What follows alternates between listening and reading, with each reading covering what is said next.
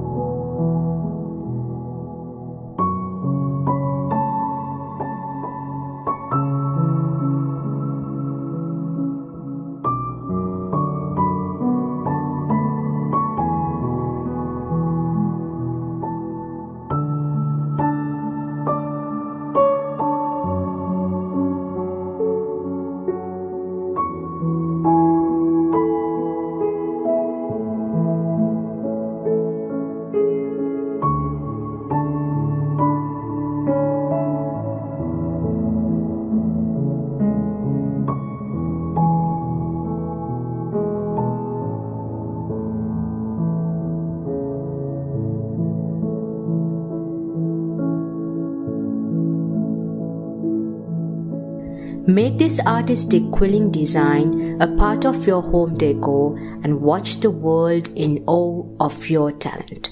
Till then, happy crafting!